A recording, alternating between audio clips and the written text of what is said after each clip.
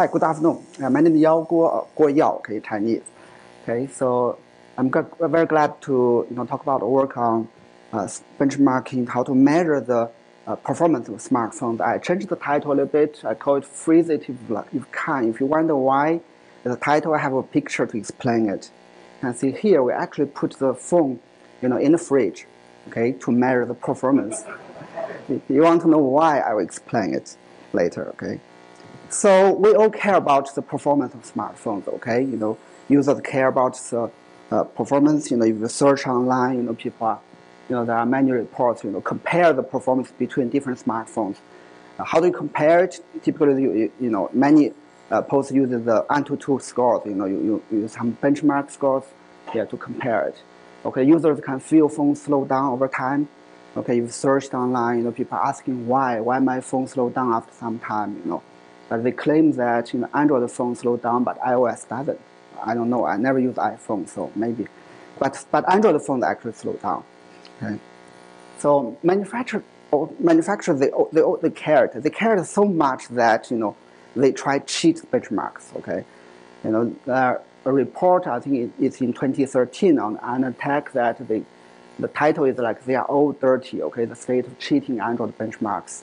Yeah, they claim that you know most big big brands like Samsung, Asus, HTC, you know they all have some kind of way, you know they know you are running the AnTuTu, you know they can you know run it faster. Okay, it's like the Volkswagen you know cheating scandal. Okay, so AnTuTu has to do something though. They have to you know launch new benchmarks to avoid being cheated. We as researchers, we also care about performance. You know, there are many research papers. They, they, they need to measure the performance of the smartphone. Uh, you know, because you, sometimes you need to know the performance overhead or performance improvements. Okay, for example, here are some examples using AnTuTu, like in secure in power energy optimization. Many papers have to compare the performance in security approaches, and papers using AnTuTu and virtualization or diagnosis. Now, whenever you change the system a little bit, you won't know whether you, you know, you, you affect the performance. You need to measure the performance. Okay, Actually, tomorrow in Hot Mobile, there are one session on performance testing. So we also care about performance of smartphones. But how do you measure the smart performance? Yeah, that's uh, looks like an easy question, but we don't have many choices. Okay, the one only viable way is to use these performance benchmark apps. Yeah, that's what's used in most papers. Okay, you uh, well, the most widely used AnTuTu is provides an overall performance score based on the different components, uh, including 2D, 3D graphics, user experience, and the CPU performance and the RAM performance. So they combine these numbers and then, then generate a score. tell you it's 4,000 or 6,000. Then you can compare between different phones. Okay, there are also other benchmarks you can find, Geekbench, PCMark, you know, and you can also write your own benchmarks. Okay, if you care about I/O, you can write I/O uh, benchmark to compare the uh, performance.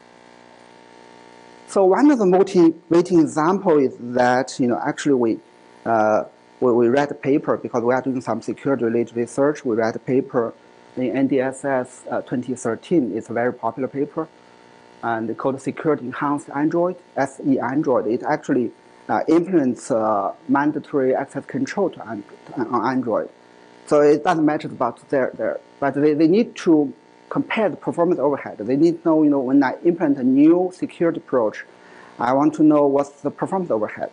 What did they do? Okay, you look at this, you know, they run AnTuTu for 200 times. Actually 400 times because they need to compare it, you know, 200 times original Android, then 200 times on their modified Android.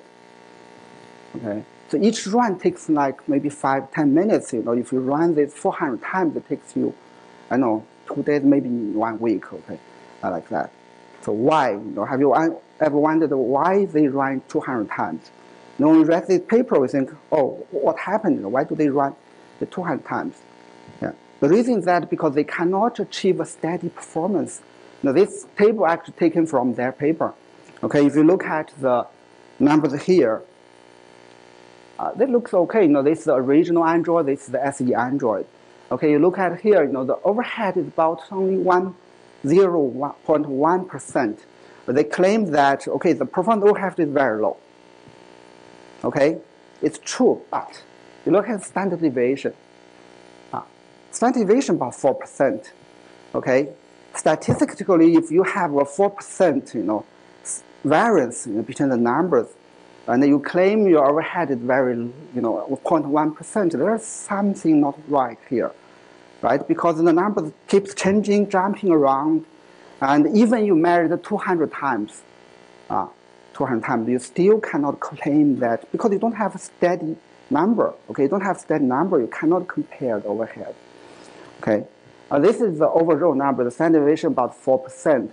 If you look at the different components, some of the standard the deviation is very high. You know, like the memory performance, the deviation about ten percent, and the integer uh, computation about seven to eight, floating point computation the standard deviation is high, and the 2D graphics is even higher, about 15%. Okay, so to measure the performance, the numbers just keeps changing. Okay, you cannot get a steady number. So the goal of our study, we try to answer the uh, two questions. One is why it's hard to measure the performance of smartphones accurately and especially stably. How to measure stably? How to get a stable performance score? Okay, and it's possible. Yeah. Okay, so one to answer also is possible to achieve steady performance scores. Okay. So in our measurement study, we uh, use these four benchmarks, Antutu, uh, which measures the overall performance. We will use the Geekbench, which are focused on CPU performance.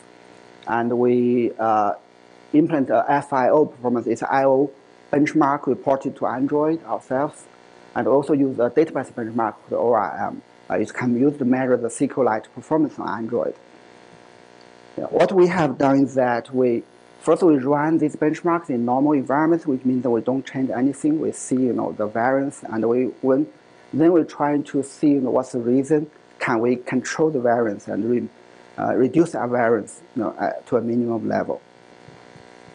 So we try to freeze some parameters like CPU frequency, temperature, and also number of background service to see what will happen.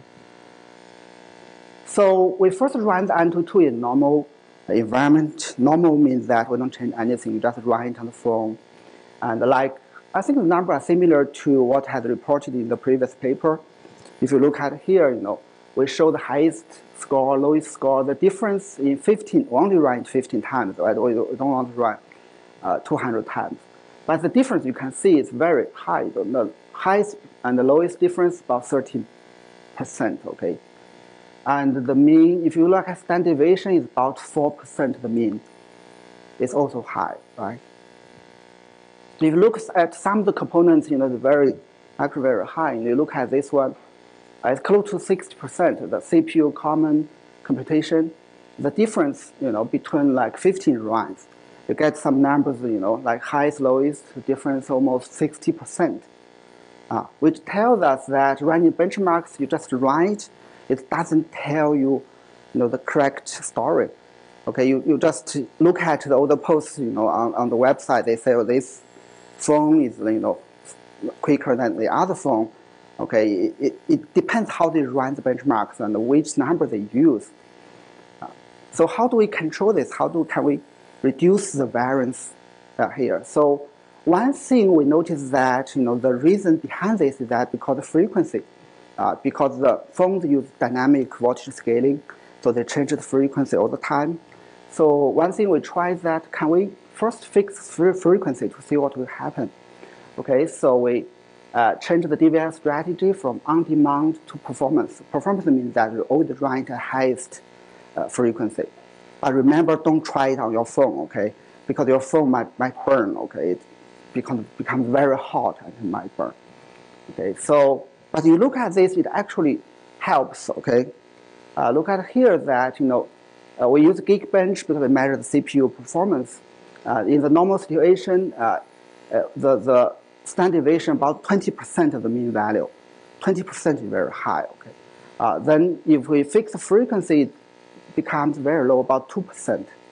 Yeah, so uh, we show that by freezing the CPU fr frequency at a fixed level, okay, you can actually reduce the variance by about one order magnitude. We also tried on the other, the IO benchmark FIO, we ran it 40 times. Uh, you can see that uh, the standard deviation, we can re reduce it from 2.7 to 1%. So, of course, you know, it's about like one third, okay, reduce the variance to one third. So freezing CPU frequency also can achieve some uh, similar effects on the I.O. performance, but not, not as a CPU because the uh, frequency also uh, affects the I.O. performance here. Uh, the other thing we have tried that we also fix temperature uh, because the, the why the uh, CPU frequency change because the temperature, okay, because the smartphone has very, uh, they, they try to based on temperature, uh, they can change the CPU frequency here. And we also try to kill the background services because if you write every time, you know, the background service might be different. Uh, so here we I show the result for the database benchmark. So the percentage here is about the variance. Uh, you can see that the, uh, for this benchmark, they have different components. Uh, so we will first write, uh, I think this is like 10 times. So first write the, the variance is you know, about 5% to about 35%. Okay, if we fix the temperature or put in the fridge at about 4 degrees Celsius. Okay, so it can reduce about to half. And then we also fix the frequency here and reduce, you know, about to one third of here. And we, we, finally, we also kill the background services. Yeah, we can control the, uh, the variance, you know, the, the, the, performance scores. Yeah, so in the end, if we add all these together, you know, the variance can be reduced by up to 16 uh, times. Uh, from for, uh, for this one, from about 5.5 to about uh, 0.3% actually. So what can we do? Okay, how do we do you know, to achieve a steady performance? Yeah, I'm not saying that this only way, but I think it is one way we can do this. You know, you can, if you want to control the variance of performance measurements to a minimum level, uh, we suggest you can freeze it. Okay, you freeze the CPU frequency. You know, you can disable the DVS. You can you set it at uh, uh, a high level or you can set it at a mid level, but you can fix the CPU frequency and you can freeze the surrounding temperature. For example, put your phone in the fridge. Or we also try to you know, put it just close to an AC vent. Or you, we, during the winter, we also tested out, out, outdoors. You know, okay, the variance can also be uh, reduced. Uh, you can also kill the background processes. Uh, typically, after you kill it, manually will restart themselves. So you have to wait for about three to five minutes for the phone to reach a steady state. Then you can run, run the performance benchmarks. Then we run Antutu again on, the, on our phone. You know, right now we put in the fridge and then we kill background processes. Yeah, we only run it for five times. We don't run it for 200 times. You can see that even we run it for five times here, you know, originally the, the uh, standard deviation about 4% is the same as original uh, and the previous numbers. But if we, we kill fixed temperature and kill the background services, yeah, we can reduce the standard deviation to about 0.5%. Yeah, which means that you know if you uh, freeze it, uh, freeze the, the, the environmental parameters, uh, you don't have to run 100 times in order to make a simple performance comparison. Uh, you just want to compare the performance to see the overhead. Okay, you don't want to run it 100 times. I think the performance measurement is one of the fundamental questions you have. We have to find a way to measure the performance accurately and stably, you know, before we can tell, you know, how we improve the performance.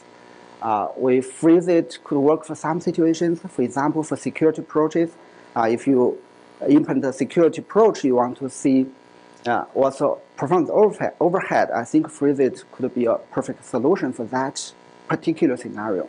Okay, but it doesn't work for other scenarios. For example, if you want to measure the performance overhead of different DVFS algorithm, you know, you, you can't freeze the frequency, okay? You can't put it in the fridge, you know, because it will change, you know, the, it affects the algorithm itself.